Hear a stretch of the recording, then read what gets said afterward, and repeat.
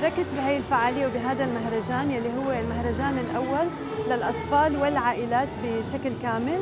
آه، شاركت بهي الفعالية لأنه نحن عم نركز تماما على صحة وسلامة الأطفال وخصوصا بالسنين الأولى. وعم نركز على تشجيع دور الآباء والأمهات بتربية أطفالهم وأهمية التركيز على آه، طرق معينة للتربية الإيجابية وصحة الأطفال. فنحن مثلا عم نركز على موضوع التغذية اللي أنا عم أكون مسؤولة عنه يلي عم نركز على تشجيع الخضار والفواكه تشجيع شرب المي والإقلال من آه، تناول السكريات والمأكولات المكررة.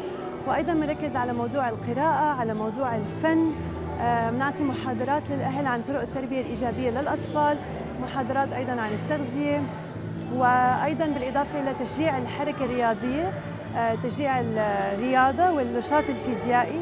ودوره المهم بصحة وسلامة أو الـ well أو الصحة العامة للأطفال والعائلة بشكل عام.